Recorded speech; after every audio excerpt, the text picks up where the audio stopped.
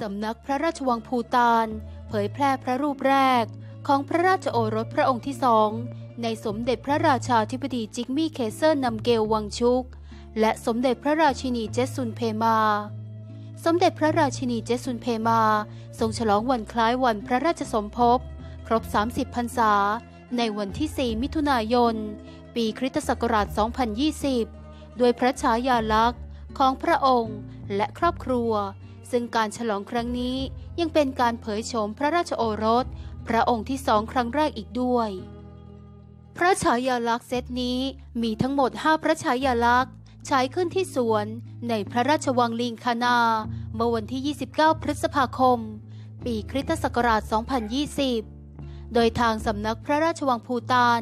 ได้เผยแพร่พระฉายาลักษณ์ ผ่านทางโซเชียลมีเดียของสมเด็จพระราชาธิบดี จิกมี เคซาร์นัมเกลวังชุก พระฉายาลักษณ์แรก เป็นพระฉายาลักษณ์ครอบครัว สมเด็จพระราชาธิบดีจิกมี เคซาร์นัมเกลวังชุก ทรงอุ้มเจ้าชายน้อย ขณะทรงอยู่ในห่อผ้าสีทอง ประทับเคียงข้างเจ้าชายจิกมี และสมเด็จพระราชินีเจ็ตซุน พระฉายาลักษณ์ที่สองเป็นพระฉายาลักษณ์โมเมนต์ของแม่ลูกที่ทำให้เราได้เห็นพระพักต ของเจ้าชายน้อยอย่างชัดเจน ต่อมาเป็นพระบรมฉายาลักษณ์ของพ่อและลูกชาย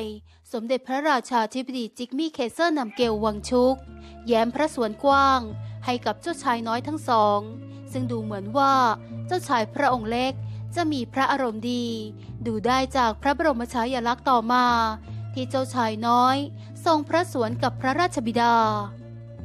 และพระบรมฉายาลักษณ์สุดท้าย เป็นอีกหนึ่งโมเมนต์สุดน่ารัก ระหว่างพี่ชายและน้องชาย เจ้าชายจิกมี่